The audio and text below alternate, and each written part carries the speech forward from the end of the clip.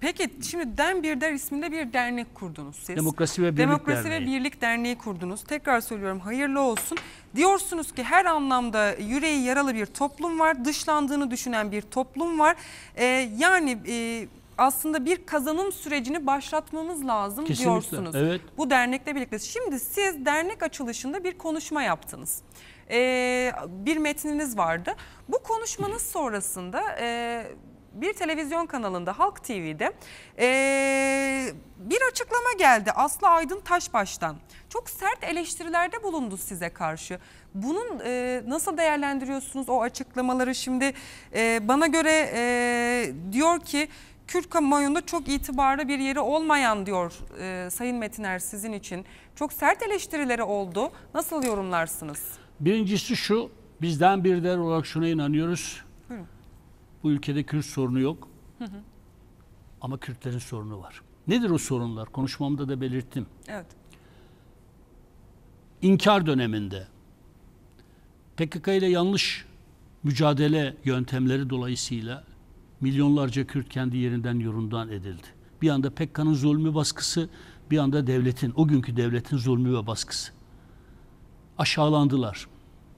İşkence gördüler. Köyleri yakılanlar oldu. PKK yardım ediyor diye. Ya dağ başından iniyor ya nasıl yardım etmesin yani.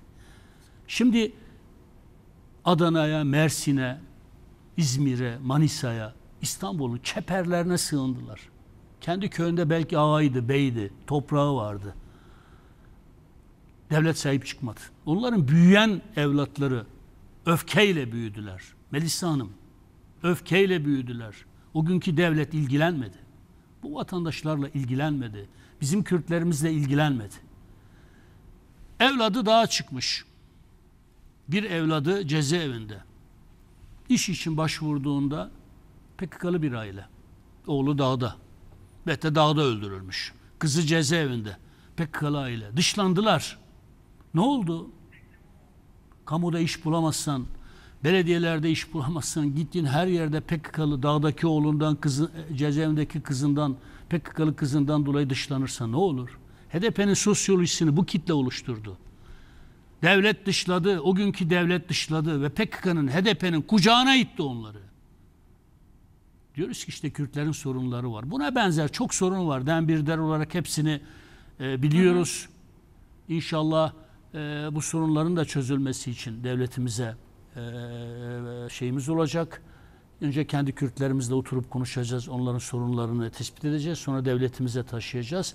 Emin- Eminim ki devletimiz Kürt sorunu çözdüğü gibi Kürt halkımızın bu sorunlarını da çözerek PKK'nın ve HDP'nin istismar alanlarını ortadan kaldıracaktır. Peki niye rahatsızlık duyuyorlar? Evet onu soralım. Neden? Bakınız biz PKK'nın Kürtlere kaybettiren, Kürtlere kan ve gözyaşından başka hiçbir şey kazandırmayan ve Kürtler üzerinde de tarihte görülmemiş acımasız bir zulüm rejimi oluşturan bir örgütü, onun siyasi e, partisini eleştirdiğimizde kimden şey geliyor, tepki geliyor? Aslı Aydın Taşbaş gibi isimlerden geliyor. Niye geliyor? Aslı Aydın Taşbaş sadece Kürtleri seviyorsa biz de Kürdüz. Bizim gibi düşünen milyonlarca Kürt var. Demek ki onun sevdiği Kürt, onun makbul gördüğü Kürt, PKK'lı Kürt. Biz PKK'yı eleştirdikçe onlar rahatsızlık duyuyorlar. Çünkü onların makbul Kürdü PKK'lı olmak zorunda. PKK'lı olmayanı Kürt kabul etmiyorlar. AK Parti'ye oy veren milyonlarca Kürdü Kürt kabul etmiyorlar. Aslı Aydın Taşbaş gibi PKK sevici elemanlar. Çok açık söylüyorum. Halk TV'de aradım söyledim. Buradan da bir kere daha söylüyorum. Yüreği yetiyorsa benden bir der genel başkanı olarak o programa katılacağım. Benim yüzüme karşı savunsun bunlar. Dilerse şu an Yanına HDP'lileri de alsın. Yanına HDP'liler de alsın. Kimin yüreği yetiyorsa. Arkamızda milyonlarca Kürt var. Milyonlarca Kürt. Biz tek başımıza değiliz. İstersek on binlercesini, yüz binlercesini sokağa çıkartırız.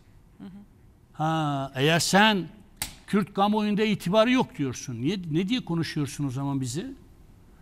Kürt kamuoyunda itibarımız, karşılığımız olmamış olsaydı, sadece Kürt kamuoyunda demiyorum, Türk kamuoyunda da, bütün Türk kardeşlerimi yürekten selamlıyorum. Peki Kürt kamuoyu dediği kamuoyu nedir? Sayın Aslı, As, As, ne?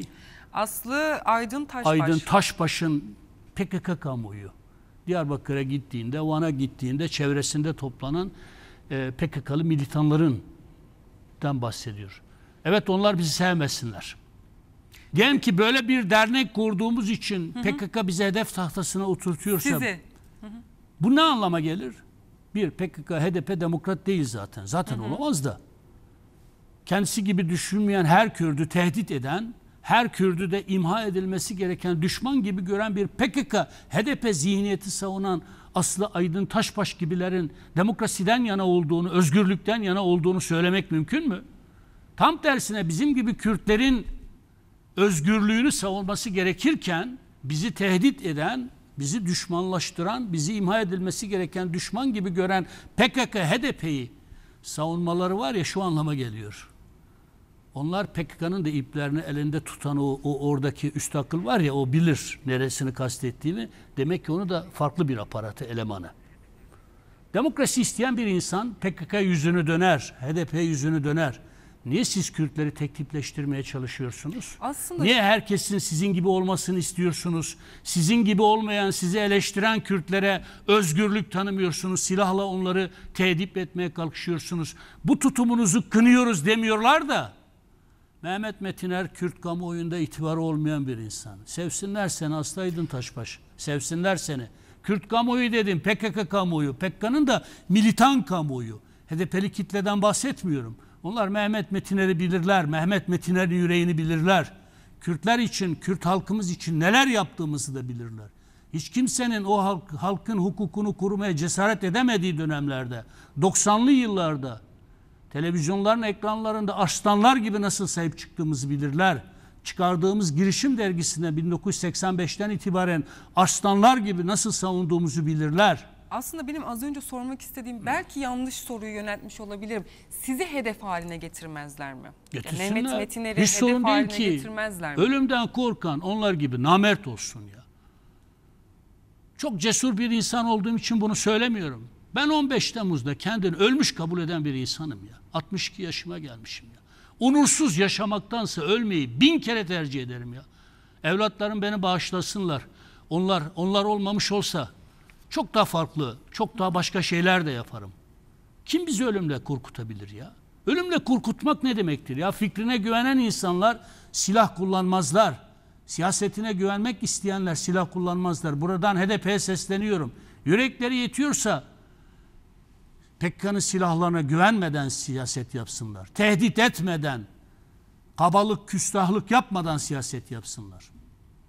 Hodri meydan yürekleri yetiyorsa fikirleri karşımıza çıksınlar. Hangi HDP'li kendisine güveniyorsa. Buyurun siz çağırın. Gelsinler. Aslı Aydın Taşbaşı çağırın gelsinler. Topu birden gelsin fikirleriyle gelsinler ama. Yayınımıza Böyle karşımızda karşımızda parmak sallayanın parmağını kırarız biz. Öyle öyle benim silahım var. Ne yaparsın silahın var ya? Ne yaparsın? Öldürür müsün? Senden korkan senin gibi namert olsun. PKK'nın öldürdüğü Kürtlerin haddi hesabı yok. Sen Kemal Kılıçdaroğlu size sesleniyorum. Eğer Kürtleri seviyorsanız PKK'nın öldürdüğü Kürtlerin de hakkını savunun. Diyarbakır annelerini ziyarete gidemedin. HDP inci- incinmesin, gücenmesin diye yazık değil mi? Evet Diyarbakır annelerinin bininci günü doldu. Ha Diyarbakır annelerimize de selamlarımı, o yiğit annelerimizin ellerinden öpüyorum. Selamlarımı gönderiyorum. Bizden bir der olarak sizin sesiniz olmaya da devam edeceğiz. İnşallah önümüzdeki hafta eğer şu an program yapıyoruz. Ziyarette önümüzdeki hafta içinde ya da bir sonraki hafta mutlaka Denbirder'i Diyarbakır'da, Denbirder heyeti olarak Diyarbakır'da Diyarbakır annelerimizi ziyaret edeceğiz. Oradan da mesajlarımızı vereceğiz ve Türkiye'nin her tarafında teşkilatlarımızı kuracağız. Her tarafında. Bize inanan, güvenen ve herkes şunu bil- bilsin. Türkiye Kürtlerinin sesi olacağız. Bizim gibi düşünen, hassasiyetleri bizim gibi olan bütün Kürtlerin sesi olacağız. Öyle Türkiye Kürtlerinin adına da artık PKK'nın, HDP'nin konuşmasına izin vermeyeceğiz. Bundan da son derece rahatsızız. Biz milyonlarca Kürdüz, bizim sesimiz var, yüreğimiz var, duruşumuz var. Ha biz böyle yaptığımız için tehdit edeceklerse bilsinler ki biz onların tehditlerine bugüne kadar papuç bırakmadık. Bundan sonra da asla papuç bırakmayacağız. Hiç aldınız mı tehdit? Haddi hesabı yok, girmeye gerek yok. 2005'ten beri biz ölüm çemberinden geçen insanlarız. Böyle Mehmet Metiner hakkında efendim şunu yapar, bunu yapar. Kimin yüreği yetiyorsa benim hakkımda ne biliyorsa fikirleriyle karşıma çıkmaya cesaret edemeyenlerin aşağılık yalanların arkasına sığınmasına gerek yok. İftiraların, dedikoduların arkasına sığınmasına gerek yok. Buradayım işte. Hodri meydan diyorum. Siyasete, fikre kim güveniyorsa buyursun gelsin siyaset yapalım, buyursun gelsin fikir. Kim kendine güveniyorsa, HDP eş başkanlarına da çağrıda bulunuyorum. Yüreğiniz yetiyorsa, Mithat Sancar'ından tut Pervin Buldan'ına kadar. Kimin yüreği yetiyorsa her programda ama hiçbir yalanın, dedikodunun belden aşağı aşağılık iftiraların arkasına sığınmadan gelsinler Kürt halkını konuşalım. Kürt halkının çıkarlarını konuşalım. Fikirlerimizle yarışalım, siyaset yapalım. Ama yok. Ben sana silah gösteririm. Ben seni Diyarbakır'a sokmam, Van'a sokmam, Hakkari'ye sokmam.